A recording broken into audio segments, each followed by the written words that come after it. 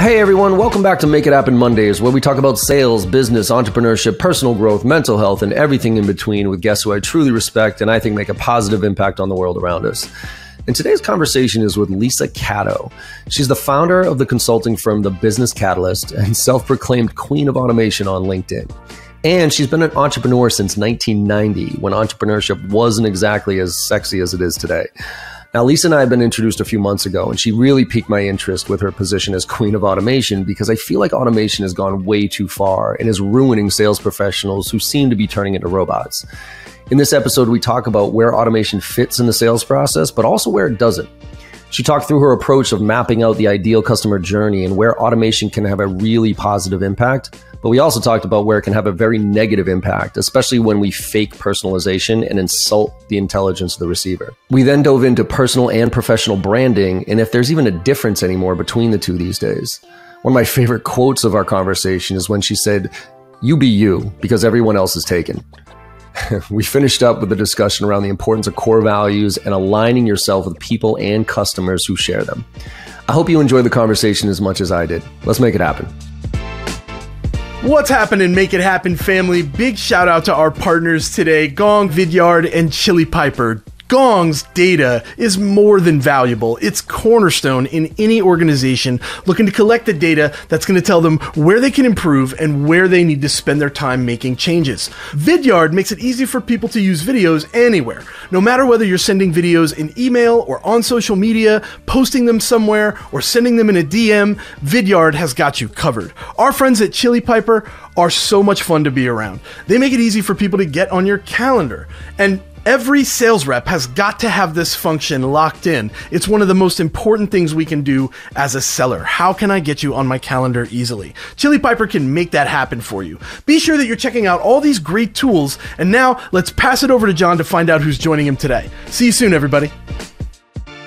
Lisa Catto, the queen of automation. How are you? Yeah, I am really good. August has hit. I'm ready for some downtime in some serious way there. I was going to say, where, where are you based out of again? Where I'm in London. I'm in North London in the UK. Uh, I'm always jealous of of EMEA in August. It's like everybody takes the month off, and it's like, oh, I wish we had something like that here in the states where we could be feel okay to take off, you know, basically a month's worth of work before we got back into it. It's such a more healthy way of approaching things than we got things over here. So I, I envy you in a lot of ways. Uh, France and Spain, they literally. Oh, well, Spain is everything just stops for August, but it is, it's ridiculously hot. So it's where the siesta came from, right? Right. Well, and I think that's, I mean, the, the weather that London's had recently, as far as the heat and how like 98% of people don't have air conditioning, like that's, that's the downside of the, of, that's why almost you need to take the month off, right? yeah, we should have air conditioning for the 48 hours a year that we have ridiculously hot weather. But we're not geared up for it. So the roads are melting, the railways are buckling because they're not, ex- you know, if you're in Arizona, then you know you're used to the heat and everything's geared up for the heat. But we complain it gets too cold, it gets too hot. It's like the UK really doesn't know yeah. what's going on with the weather. But I think we're known for that. It's part of our charm. Yeah, we got. I think we got a little bit of that in here, in Boston. It's uh, you know we're we're never happy. It's either too hot, too cold, too muggy, whatever. It's never just great. So, anyways, Lisa, let's talk about this automation because um, you know, we had talked briefly uh, in the past, and and I know I've been looking through what you, the work, the stuff you're working on, and you're on LinkedIn. You are the queen of automation, and I am extremely concerned about automation right now and how it's turning a lot of reps into robots or or replacing a lot of reps. So before we get into the, the kind of the, the meat of the topic, though, give give everybody a little bit of background of, of kind of how you got to where you are right now, so we can have some context for the conversation and why uh, you're you lean on the automation side. Uh, okay. Well, I've been an entrepreneur for 30 years. I had my first business in um, 1999, I think it was somewhere around that. No, earlier than that. It was at 19, 1990. Anyway, it was a long time ago, decades. Mm-hmm. Um, the main part of my career was actually in making computer games, where we were the first people ever to place an advertiser as third party product placement uh, in a game. So we put the Adidas ball into FIFA Soccer. We did all the branding in Sony Gran Turismo. Then we started making promotional software, you know, the CDs that used to go on cereal boxes and millions of those. So we started doing promotional impact on pack. And then we went into Xbox and PlayStation games with our own proprietary technology, which was Ragdoll kind of technology and motorbike stunt racing games before motion capture existed. So that was my history. Uh, we mm-hmm. did so well at that, I kind of retired in my mid 30s. I lived in the south of France, hot country. Um, and then about 10 years ago, from getting divorced, I came back and I fell into automation. It was, I was actually at a traffic and conversion conference where uh, Richard Lindner was talking about email marketing, which I'd been doing. And he's like, Yeah, and I spend two hours every night researching this. And I'm like, there's no way I can keep up to date with all the stuff that's going down on Twitter and new stuff coming in and all the algorithms and Panda this and Google Snap that. So I decided to, to niche into automation because I've got the marketing side of things, I've got the technology side of things, and the two just went really well together. And that's when I discovered Keap, which is uh, formerly known as Infusionsoft, became a partner and have just gone from strength to strength so that I'm now known for uh, build, designing and building and implementing the ideal customer journey, uh, where we look at any business, whether it's in uh, bricks and mortar, e-commerce, e-learning, courses, all the different types of businesses. Sorry, my brain's got a bit fuddled there. And we build yep. different journeys depending on the business. Um, and we do all the implementation and we support them in that. Love it. And and who's the for for you right now? Who is the who's the target audience that, that you mainly work with? Like who's who's the clients that you tend to work with? We we work with any business that's doing north of two three hundred thousand um, dollars. We have a, a niche in dentists and orthodontists where we have something called the ideal patient journey. So that works for any appointment based. Mm uh, bricks and mortar business, um, and we have fantastic reporting, life cycle reporting, which uh, plugs into Google and tells anyone where how many leads at any given time and where they're sitting in the funnel. Uh, with all the analytics and stuff. So just like really simple, effective data, so you can make intelligent, not dumb decisions and stop losing thousands of bucks, basically.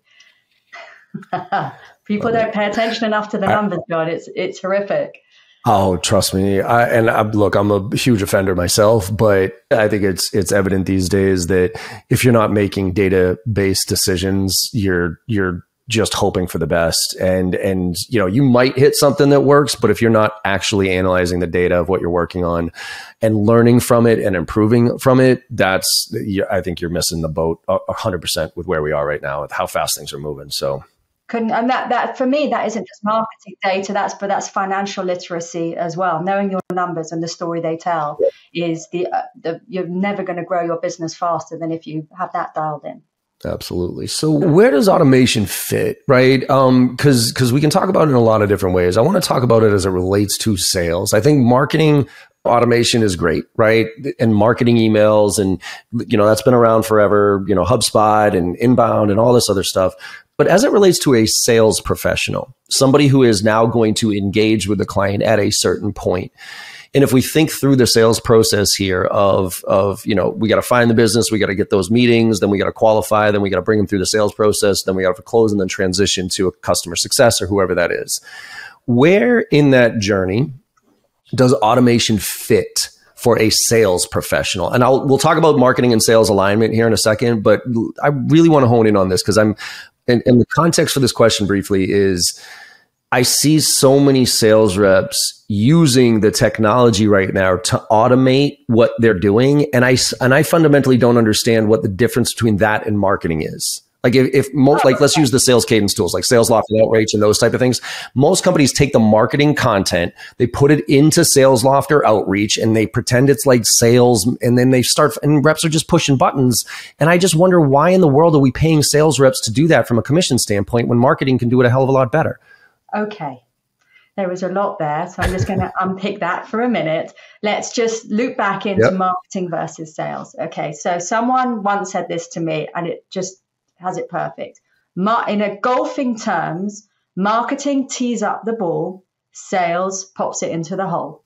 Right? So It's the awareness, it's the branding, that's all marketing. The actual conversion process of getting someone to hand over their money. Now, it, the sales process for an e commerce is very quick. You go to Amazon, you choose an item, you put it in the basket, you check out, you're gone. Right? So, depending on what type of business you're in and the value of the ticket that you're selling. So if you've got a high ticket item of five north of 500 bucks, it's going to be very different from a something that's south of 50 bucks, right? So you, you got to understand that a different sales process is required for different products, different services, even if they're within the same company. So that's that's number one uh, even if that's also leading up to ascending people from a lower value, low barrier to entry product into a higher value product because you're using it in terms of marketing to build like, know, and trust uh, so people can get a, eyeballs on what they're buying later down the line. So, as far as the sales process that you just described, so I'm going to take it step by step. Step one in a higher ticket. So if we assume this is north of 500 bucks, where you need to have a face-to-face mm-hmm. call with someone to close the deal. That's that's what I'm going to kind of go through now. First step is you've got to Absolutely. get them on a call.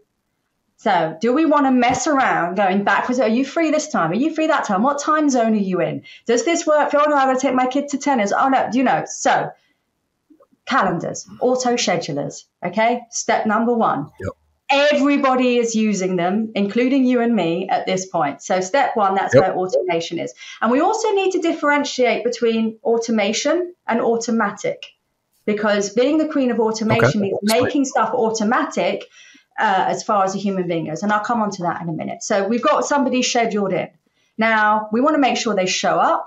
So, we want to maybe automate an SMS and or an email to make sure that they have the details of where the call is at google hangout zoom whatever it is uh, the time it is and that they're reminded that that's the case and the opportunity to reschedule if necessary. The automation.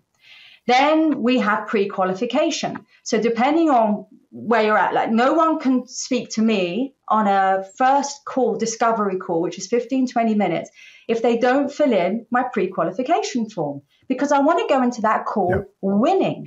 I want to go into that call knowing who you are, what your business is about, what your challenges are, and to make sure that on a financial level, we're not just both wasting our time because that's no good for anyone. With no one likes that. So let me let me pause there for a second because this is where I'm, I'm, curious. There's the lead form, right? So there's you know on the on somebody's website, and, they, and from what I understand, I, I, my background's marketing, but I haven't really been in marketing for a long time, so I don't know the real details here. But from what I understand, you want to make it almost as easy as possible with limited information for somebody to raise their hand and say I'm interested. Correct. But then there's that okay, I'm interested, I'll talk to you, but it's like your name, your number, and maybe your company website, something like that. And then there's the quote unquote discovery call by the sales rep there's a middle part that I do, which is, hey, thanks for your interest. Uh, here's a link to schedule a meeting, so the calendar stuff.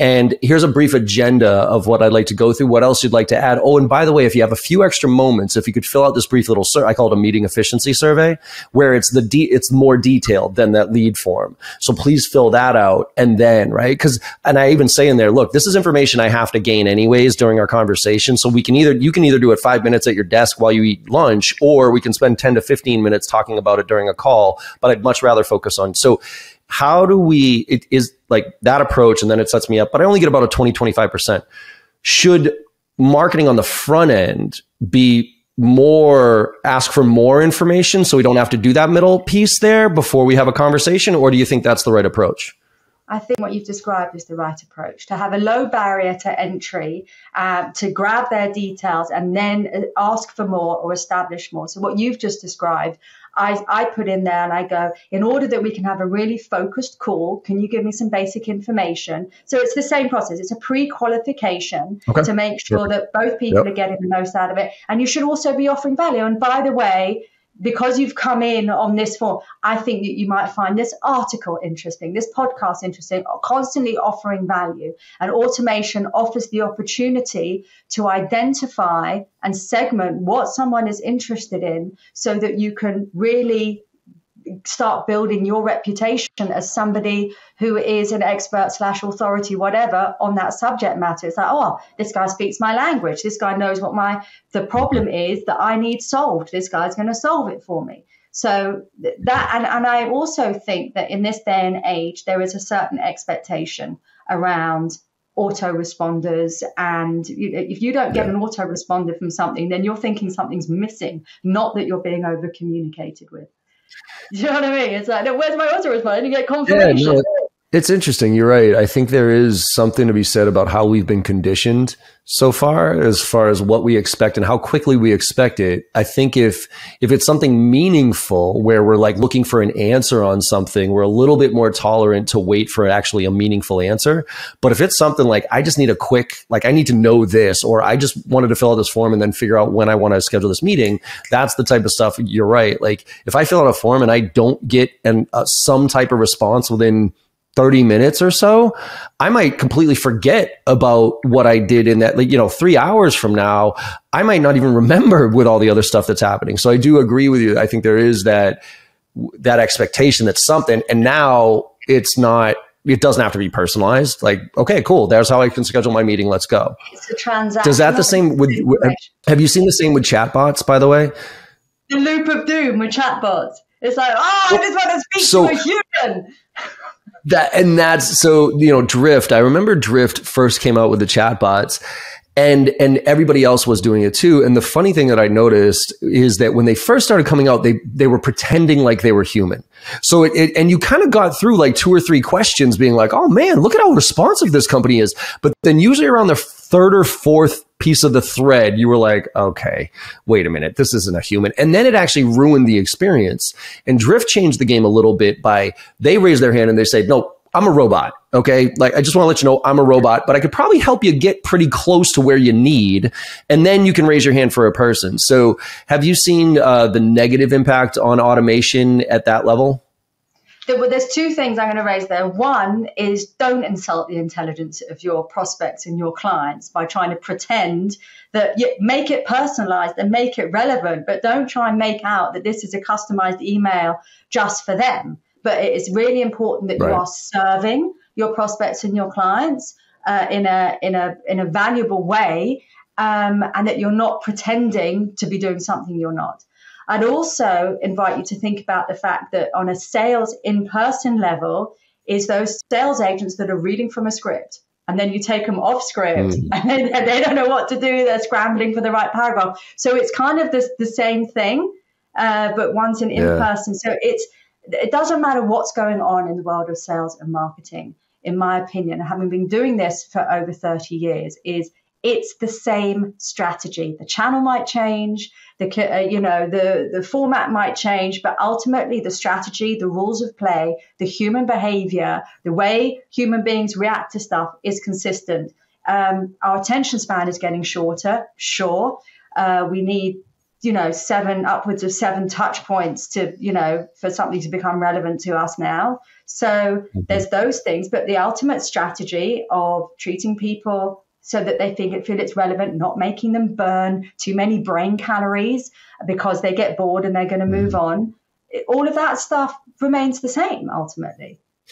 And that's what that I think the, the, the danger I see is that to your point that that fake personalization, the fake personalization bugs the crap out of me, which is why I, I personally can't stand the phrase personalization at scale. Like I think that is such a bullshit thing because just be, and what what most people are talking about when they say personalization at scale, they they change the name, the number, you know, the title and the industry of the person on an email and send it out to 500 people and they call that personalized to your point, I think that's insulting a lot of people's intelligence. Or, for instance, the video tools out there where somebody superimposes your name on the on the whiteboard here, and it's like, and it says Lisa, and then you open it up, and I'm like, hey, you, thank you so much for opening up my email. I really appreciate it. But it, you could tell that, and like that to me is actually worse than a, pl- a, a obvious automated email. You're a savvy marketeer right? So, but there are, depending on who the consumer is, the ultimate client, some people are going, ah, oh, that's so cool. That's so clever. They know it's automated. They know it's canned, but they're just impressed that someone's gone to that effort uh, to make that happen. Okay. And then there's only one thing worse than being talked about, right? Is not being talked about. So if they're going, oh my God, check that, you know, it's that's what marketing is, is grabbing people's attention, getting them to talk about it. Um, I mean, look at all the rubbish on TikTok. I'm not a TikTok fan. Just hands up there. Oh, I think it, no, I'm on it right now, and I'm getting my ass handed to me. It's no. I, I also saw a, a, a, YouTube the other day about TikTok's uh, privacy terms and conditions. Uh, that oh, scared the bejesus out of me. Do you see that one? Mm-hmm. Yeah, Oh, I'm deep in it. Like, and, and it is, I mean, sidebar, but there's no question in my mind that TikTok is a Trojan horse from China trying to rip apart democracy from the inside. There's no yeah, question well, in my mind about that. Third World War is going to be all around intelligence and data. There's not going to be a bomb or a gun in sight, right? And they, they are so straight ahead. You, I couldn't agree more. But let's not get onto that topic. Let's loop back. Yeah, yeah. So, yeah, chatbots chat as long as as long as you're not pretending that it's you know i'm here to serve you with the immediate information that you don't need a human being for the faqs so really understand it's part of the sales process is overcoming objections is understanding what the problem is that you're solving and being able to pre-answer those queries. And that's all about knowing your ideal client. You can't have an ideal customer journey without knowing your ideal client and knowing what the solution is that they're looking for. So, those tools, in my opinion, are there to serve with that information. Is that if I just need to know your directions, I just need to know what hours you're open, I just need to know how to be able to get in touch with you. They serve a purpose. You want to speak to a human being? Fill in this form, we'll get back to you. Um, you know, and we but we do live, live in a world of immediate gratification. Yes. What, so let's go. Let's go to the front end real quick on the on the prospecting side about to tee it up, right? And that that scenario that I'm scared most about first, because I personally think right now in the kind of SaaS world, right, technology, the whole model of uh, SDR, BDR, AE, right, sales development rep, business development rep, and those roles are meant to go get me- all their job is to get meetings, right? And then they flip them over to the account executive, and the account executive takes that meeting and runs full sales process. So on that front end, I get calendaring, I get agenda, I get follow up. But as far as a contact strategy, so if I'm coming after you, Lisa, and I have, you know, however many thousands of people in my database, where should and, and again assuming it's a higher ticket item that needs a conversation that isn't a low acv right I, I, need to reach out to you, whatever the number is, 15 times, whatever the number is these days. Where is automation and where is the sales rep need to be put into that as far as gathering the information on you and coming up with the contact strategy and then executing that contact strategy and where I fit in? So can we, can we start with like information, like information about Lisa so I can figure out where you are? Okay. So lead gen activities. So in a uh, the high ticket item you're going to have a longer sales cycle it's going to take longer for someone unless they are completely problem aware solution aware and know that you are a solution provider and that you have built enough awareness around yourself you can have a little bit of a longer sales cycle i actually I was on another podcast a couple of years ago, and someone came to me and went, Yo, the solution to the problem I didn't know I had. Right. And that's about branding and that sits in marketing. So as far as prospecting from cold goes, there's there's different numbers of ways. So you've got Facebook adverts, for example, or LinkedIn adverts or, or, AdWords, whatever, where you are delivering a targeted message to people that have been identified as a group of prospects with valuable content, whether it's a download, whether it's a, an audio, whatever it is. And then they get to start engaging with your content and raise their hand and go, I'm interested. And that's the point at which you want to capture it and then start the nurture process to, to pre qualify them. As far as cold prospects, there are farming tools that you can, you know, going farming and you've got to be careful, really careful about using automation tools on LinkedIn and Facebook because uh, you will get your account banned. So use them wisely and carefully. There's nothing worse than getting a message on LinkedIn of, hi, I, you came up in my network, let's connect. Um, and yeah, then the next message is, let's get on a call. I want to sell you something. No one likes to be sold to. It is about building relationships. And it's how you and I started our conversation this afternoon was we have lost the art of building rapport and conversation. And that's on both sides. That is on the sales to consumer and the consumer to salesperson, that building of rapport, because everyone is expecting to be sold to. So it's really tricky. So being valuable not being creepy as far as trying to hit them up with a sale first, but genuinely find out if you've got a solution to a problem that they have and building that rapport. And it's a long old process uh, of prospecting mm-hmm. properly, of researching somebody to see if they're the right kind of person.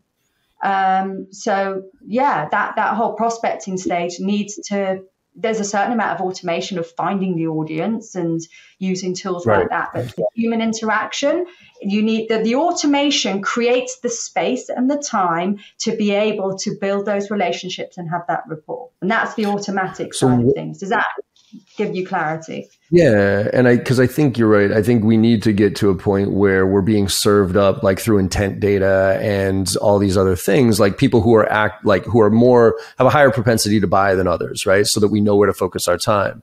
And to your point of the teeing it up, I think marketing's job is to aggregate all this information based on ideal customer profiles to then tell us, hey, instead of just a laundry list of people from ZoomInfo or whatever, no, no, no, no, these are the ones that are in our space and that really pr- most most likely have a need because of what they've done.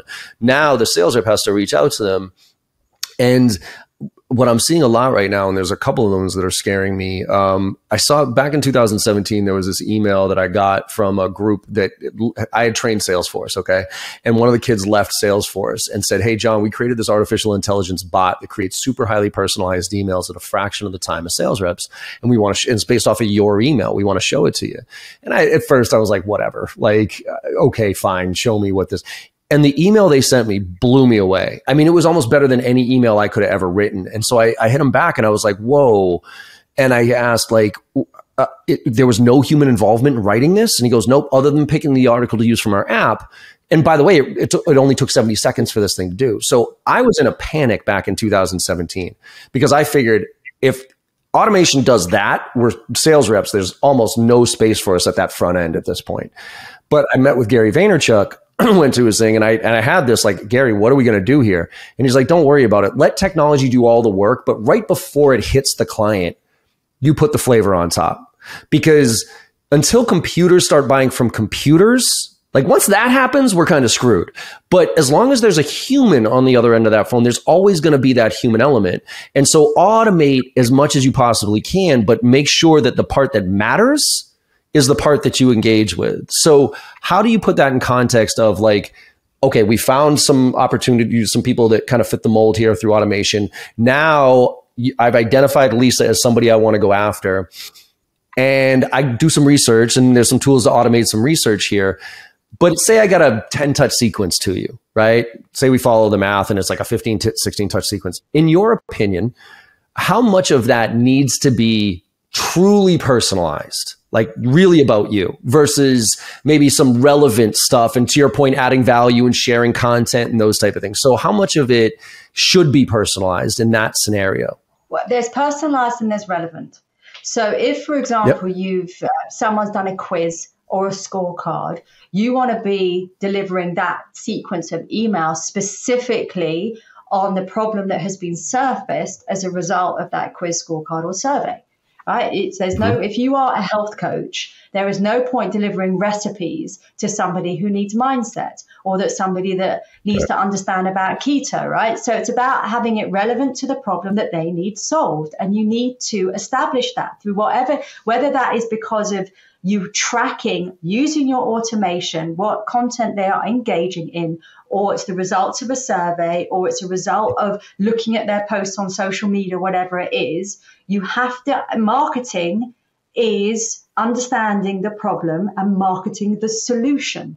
So that's what people are looking to have. So if you keep it relevant to that and, and you're going to resonate with people with your voice and how you go about things, they are going to go, this guy is going to be able to help me solve a problem and they will pay for that and it's about keeping relevant. And if they don't, it's fine. Go back fishing in the sea. There's more there. So what you're saying is it doesn't necessarily have to be personalized as long as it's relevant to either the person based on their situation. So let's let's take the scenario of we've identified a tier one account, right? Like this one is exactly the type of customer we want to work with. There's intent data, all of, and that lead now hits your inbox, Lisa. Like Lisa, XYZ company, you got to go after them. They fit our profile. What would your approach be to, and I'm the, and I'm the VP of sales, for instance, that you want to get a meeting with.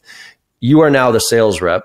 We have some automation. We have some tools like the Saleslofts and the outreaches. What would your approach be to me to get me on a to get a meeting with me from a sales standpoint forget about from marketing because marketing did their job we've identified them we've maybe set the stage here now you're a sales rep what's your approach to me uh, well, my approach is going to be to go and find out about you and what you're interested. Have you got kids? What age are the kids? Yep. Uh, do, which football team are you supporting? Am I going to send you tickets? Am I going to send you flowers? Am I going to send you a box of Dunkin' Donuts? How am I going to get your attention? And how am I going to stand apart? And how are you going to know that I care about the service that we want to deliver for you? And I'm not just here to take your money is that we are here yeah. and and this comes back to core values in the company and being representative and the branding yeah. being about that. Because if somebody if, if somebody is reaching out to me uh, or you what's the very first thing that we do? We're tapping it into google. What are they going to find? Are they going to find pictures of me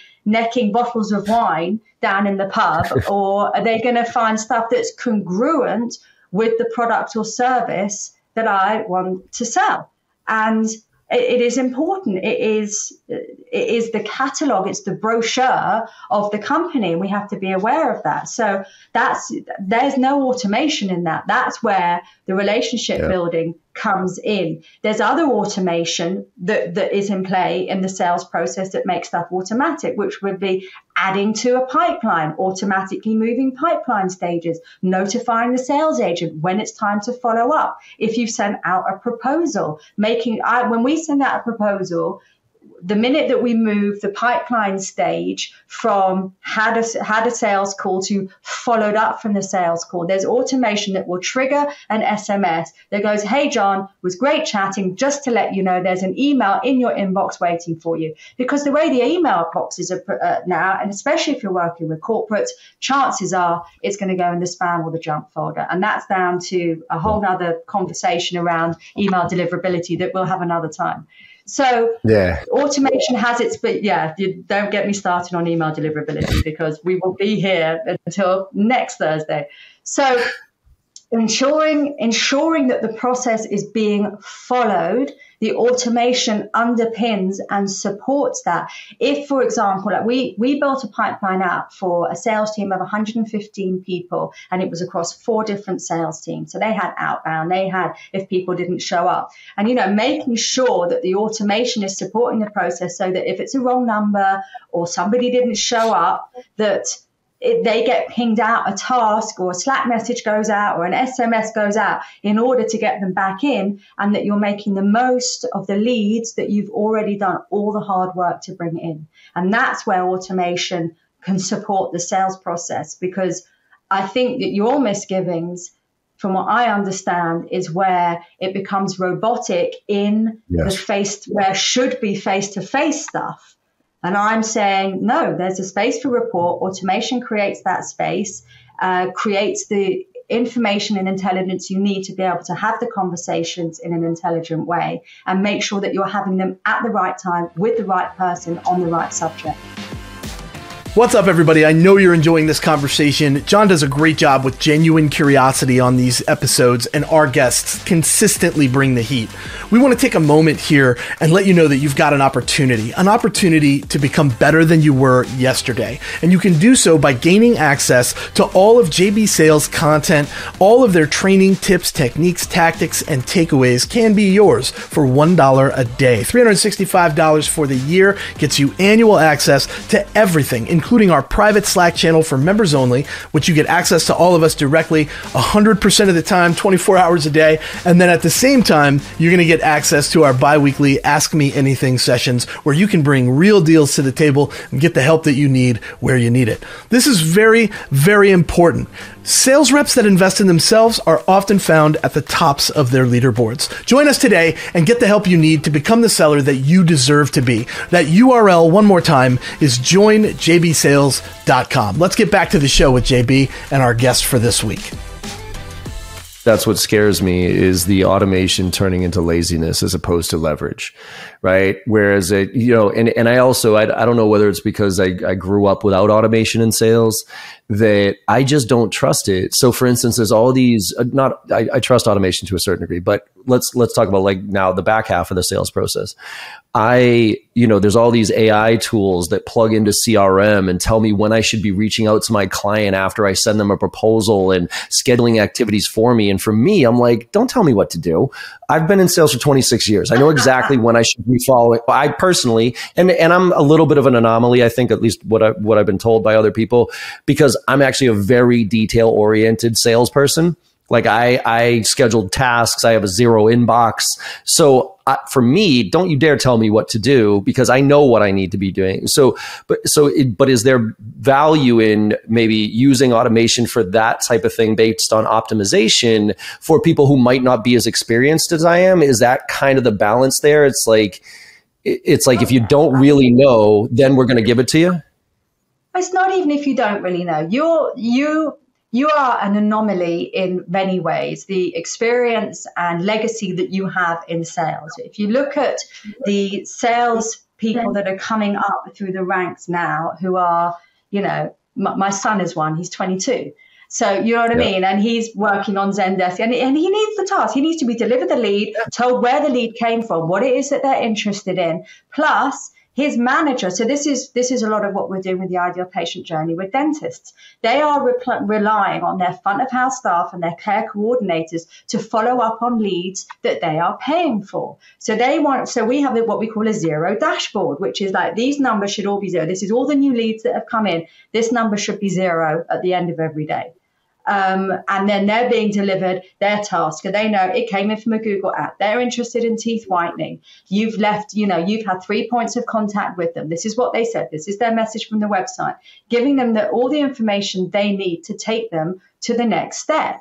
Now, you as a sales professional, as a standalone, yeah, I would expect you to be that organized. But if you're running a sales team, the accountability needs to be there. And the sales team need to know that that accountability is there and they are mm-hmm. going to be held account to those numbers. You need to know how many calls they've made. It's like call recordings and secret shoppers and all the rest of it because not everybody is just the sales guy for their own business. They're looking to possibly pass that, that task onto a colleague or a member of staff. Absolutely. And it comes back to the you, numbers, John, too, of how many calls. Yeah. It's like when you're creating a yeah. dashboard for a business, you have to have a dashboard of numbers that you can impact. There's no point just having numbers for the sake of numbers. And it's like, well, how many calls and what were the results of those calls? And if it's below this percentage, then how do we get it above that? Is it training? Is it our marketing material? Is it the state of our proposals? It's like, without the data that the automation is delivering off the back of the things like tasks,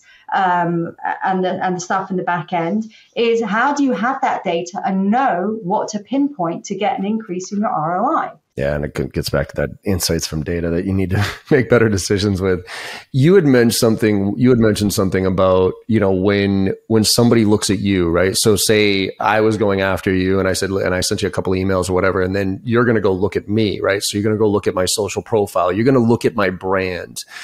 Question for you on this: is there any difference these days between a personal and professional brand? And the reason I ask is because I think it used to be. And well, I'll give my history.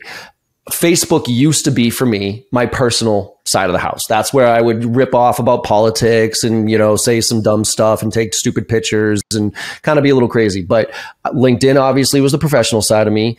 Um, Instagram started to kind of get in between for me.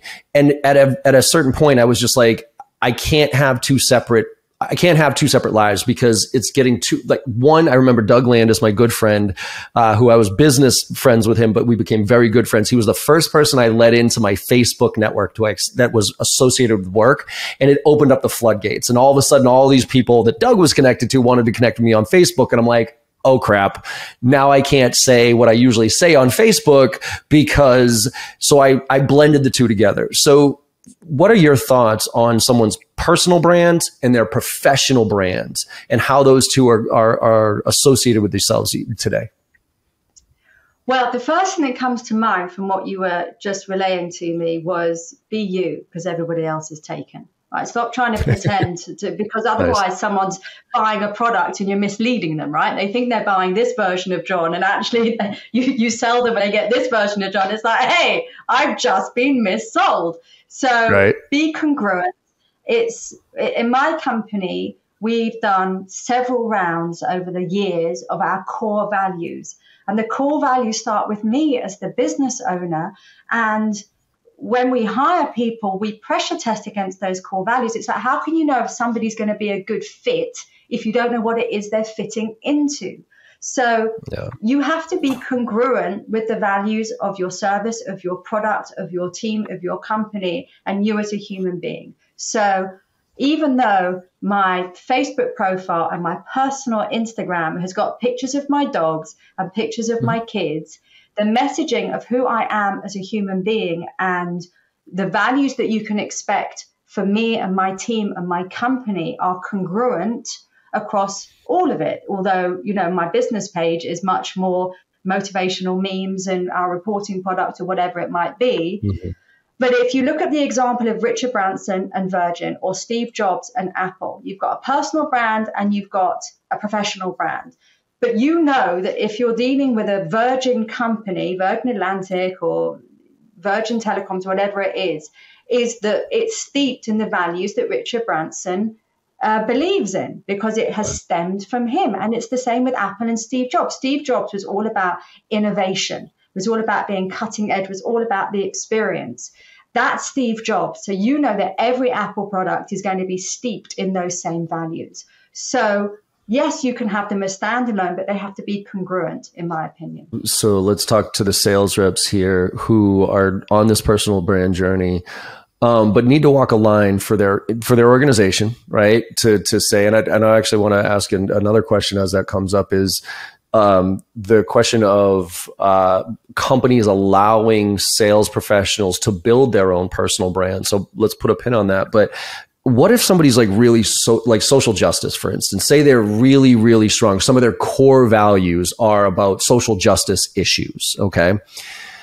Where's the line with that in business? so here in America, obviously, we've had quite a few issues, right? We got the Roe v. Wade, we got Black Lives Matter, we got all these things that that you know I, want to scream from the mountaintops about because I personally believe in these things and they are core to my values as far as diversity and that type of stuff. But I know by doing that and having a very loud voice in that area, it ostracizes or it causes conflict that I may or may not want to deal with, and it's probably cutting my audience in half. Not that I want to that, that, that I care about the people that don't share my values. I do, but I obviously want to work with people that that share my values. So where's that line for you as far as your social values versus what you're putting out there um, from a business standpoint?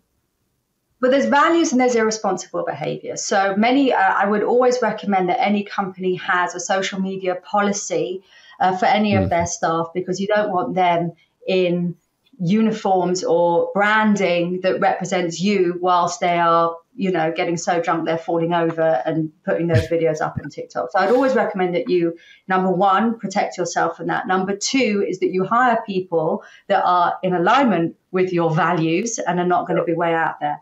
Now, to your point about social values, um, I'm going to cite again the ideal client. Now, you can't mm. please all of the people all of the time. And I've actually written a blog recently on this, on the value of not working with everybody. There is a yeah. massive mistake of working with everybody because you end up just battering each other because you're not aligned. Go let someone else serve them. Of course, your product can serve a much wider audience than you'd like. But as Jay Abraham reminded me in a in a talk that I was at recently, the pie is this big.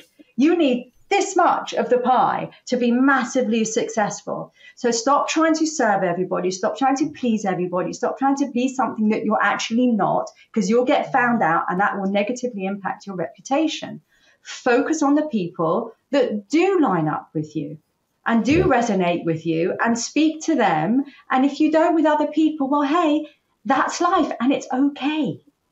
You, there's the, the people fun. pleaser in us, right? We're in service industry. We want people to like me, like me.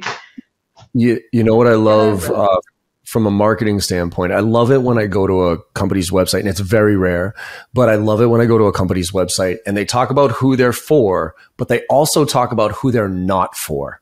Like, if you're this, yes, click here. But if you're this, please don't click here. That we're not for you.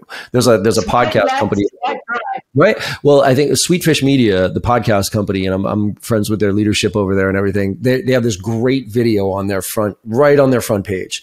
They explain here's our philosophy around podcasting. This is who we're for. But if you're somebody looking for a podcast to do X, Y, Z, we're not your company. Go find these other people, but this is who we are. And it's the same thing with the qualification process here, which is I'm actually, once you kind of fit that mold, you've gone through, and yes, you are somebody that I think we could add some value to.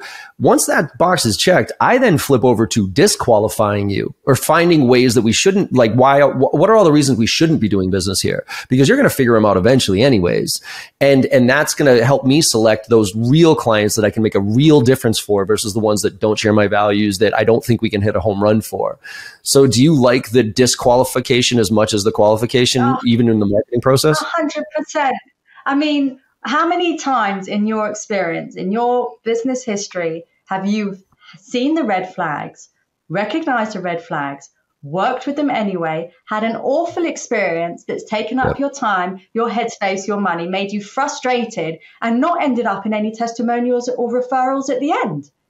Yeah. Whereas if you were just to go, look, this isn't working, please go see my colleague in this company over here who I think is going to serve you much better, which is the, oh, what was the, the Zappos, right? So if you've ever read uh, Delivering Happiness, the Zappos book, which is the Oh yeah, yeah, yeah, The first company that I know of that ever put in company culture, they were like they were all over. It's like we haven't got those shoes for you, but this company over here does, and they send them off. So they're creating a wonderful experience. So even if that person is never going to be a client, they're telling their friends they had a wonderful experience with Zappos, and they're creating referrals because it's better to be talked about than not be talked about.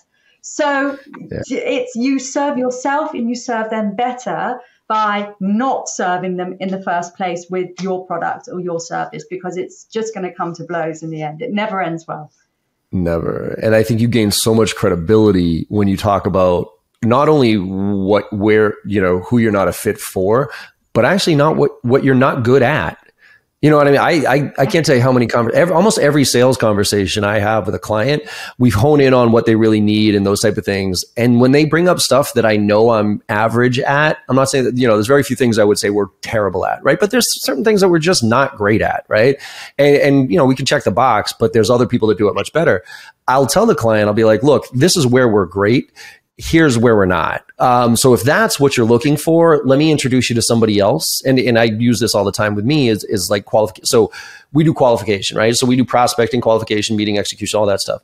Our qualification stuff is good. It's good. It, but it's part of the package. Okay. I have some colleagues like Jim Keenan with gap selling and those like where his, the qualification stuff that he has is off the chart. So if somebody's like, Oh, qualification, we really are really, I'm like, you know what? I'd love to be working with you here, but I don't think I'm going to be hit a home run with that. You should go talk to Keenan.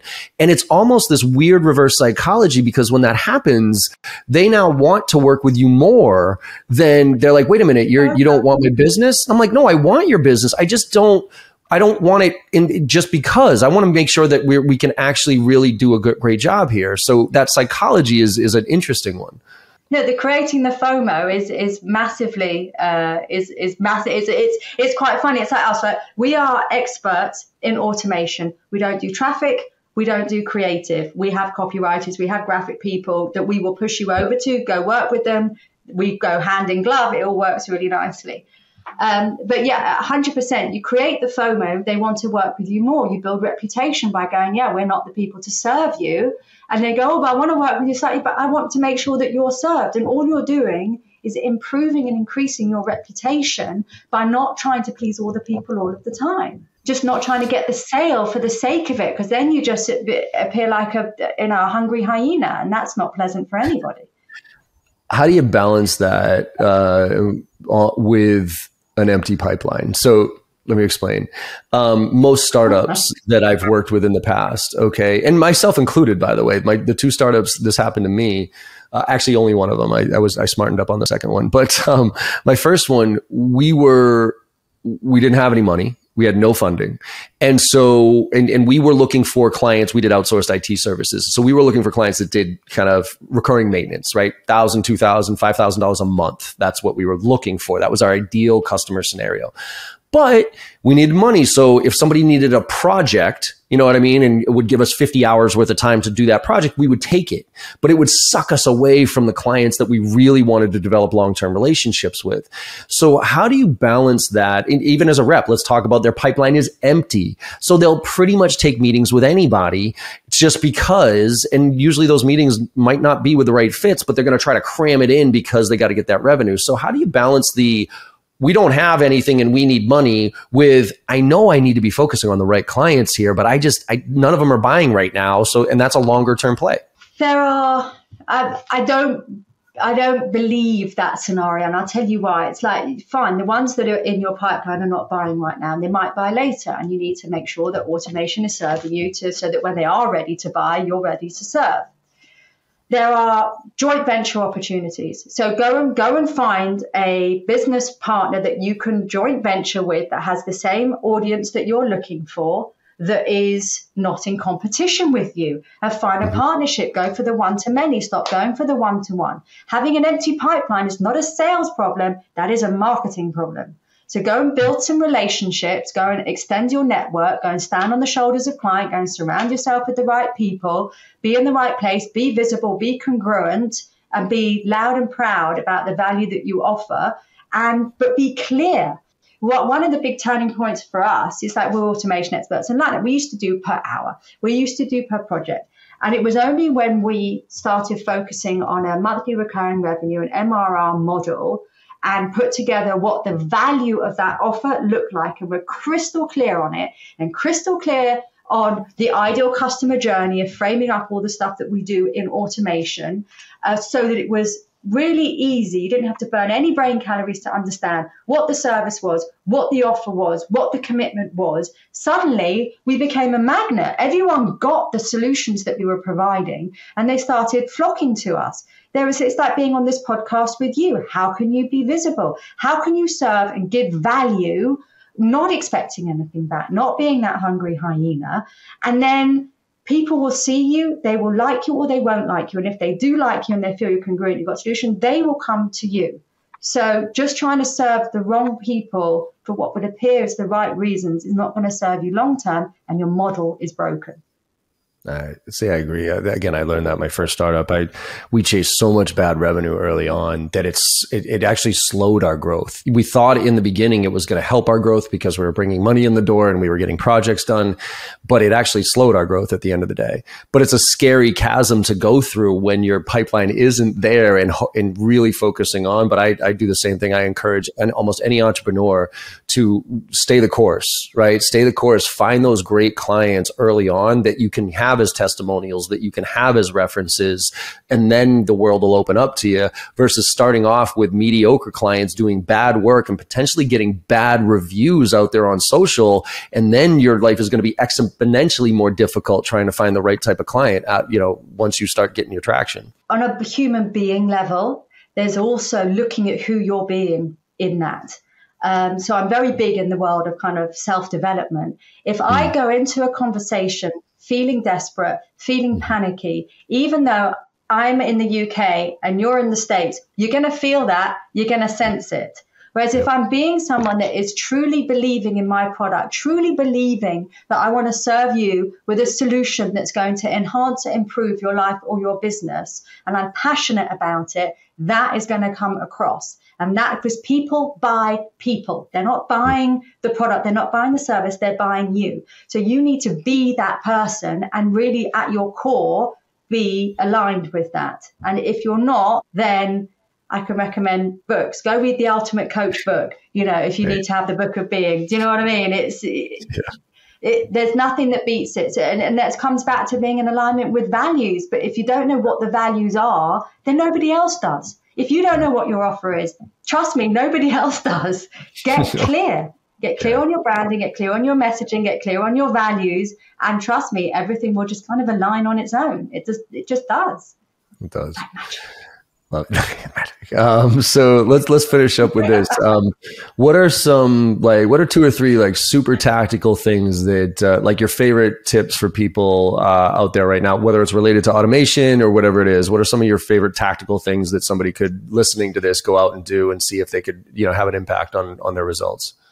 The top number one, follow up mm, at every stage. Follow up um, know your ideal client and serve them and serve them well and be congruent with who you are, your product, your service, and don't give up. And let's face it, if it was easy, everybody would be doing it. Yeah, I think that's the it's it's one of those things where you know everybody sees the results on you know on social on Instagram and all these different like oh look at how great that looks, but they don't see the journey of what it took to get there, and that's why I'm such a huge fan of Gary Vaynerchuk because he's like you know, people think I'm an overnight success. Yeah, I'm a 30 year overnight success here that that worked my ass off to get to this point. And that's why he's so passionate about sharing the journey, not the result, the journey, right? Because that's where the that's where the meat happens. And you know, the most truly successful people I've ever found are the ones who are, you know, just resilient as all get up. You know, they they keep going, they're consistent with it, they do the fundamentals consistently and they consistently well and and they're they're just in it for the long haul. I'm a, I'm sure you you probably are. I'm a huge Simon Sinek fan, and that that whole infinite oh, yeah. game right? The infinite game versus the mind, the, the, right? That's what I play. I play the infinite. I don't care about my competition because I'm not trying to beat my competition. I'm not trying to win against them. I'm trying to stay in the game. I'm trying to win this overall game of life here, which puts a different perspective on day to day, you know, all that stuff. A hundred and ten percent. I mean, the, the, the 30 year overnight success is, is absolutely the story. Consistency is the story and how you show up. You have to show up every single moment as the person that believes in the product. And if you're not showing up, then nobody else is going to believe in you. And that means that you're going to have failures and you need to get back up. I always remind of the, the kid, you know, when a kid is learning how to walk and they fall down 500 times, they don't stop getting up because it's just too damn difficult to walk, right? right? They keep on trying and they keep on going. We're incredibly resilient. But if you're not enjoying it and you're not having fun and you are not passionate about what you are doing, then stop. Because if you're not, nobody else is going is going to believe in it. So just yeah. whatever you're doing, be somebody that shows up 100% in whatever action. If you're being with the kids, show up with the kids. If you're in a sales call, be in a sales call. Just show up 100% in whatever you're doing and be authentic and congruent and you can't go wrong in life because it, all this we, t- we take it all a bit too seriously and it's like have fun take a break take some time out get some thinking time go read the road less stupid by keith cunningham if you need to learn about thinking time nice. um, and but taking time out as well to get a holistic you know some objectivity away from it and surround yourself with people that frankly are going to call bullshit uh, yeah. as well that you can share with that are going to give you that objectivity that you haven't got an emotional attachment to. And listen, be open, be coachable, and surround yourself with people that care and know more than you. Do not be the smartest person in the room. There's quite a lot yeah. of advice in there. Sorry. Yeah, no, I love it. Thankfully for me, I, I always know I'm not the smartest person in the room. So, um, so Lisa, it's been an absolute pleasure. Where can people learn more about you and what you're doing and, and uh, connect with you?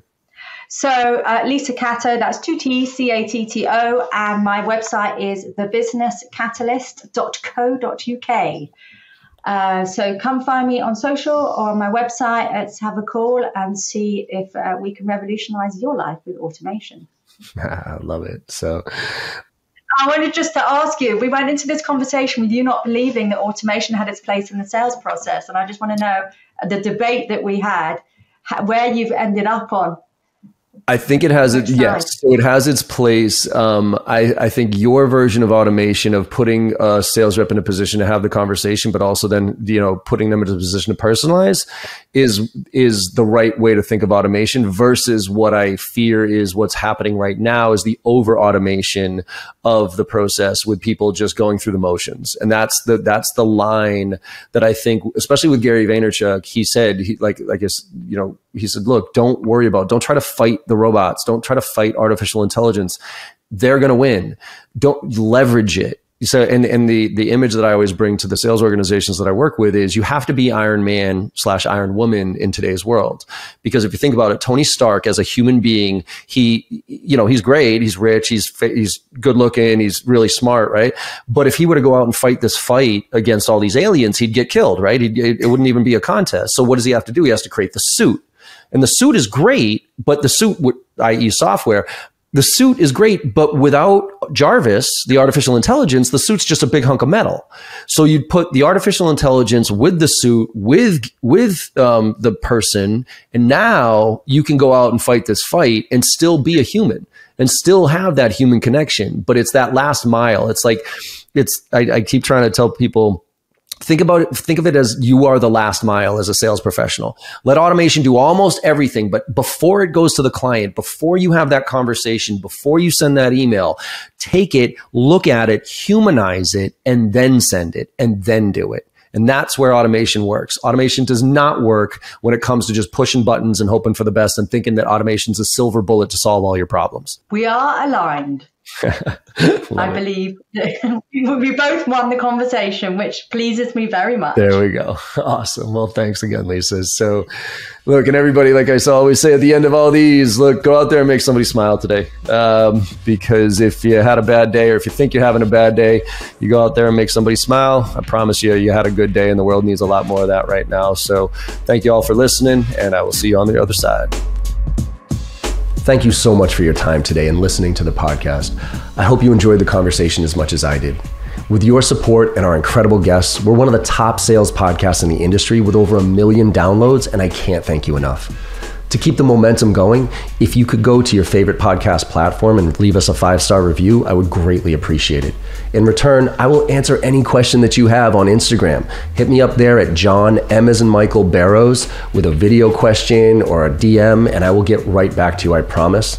And last but not least, if you're looking for training, I'm adjusting my training approach this year, and I'm actually going to be delivering training to the masses. I'll be delivering live training the first and second week of every single month with our two marquee courses, Filling the Funnel and Driving to Close, to anybody who wants to join. And it includes membership in our on demand platform with weekly AMAs.